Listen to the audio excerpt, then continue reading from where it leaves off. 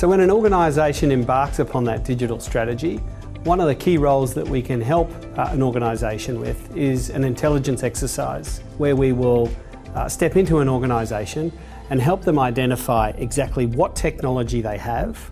who it's in the hands of, what it's costing them,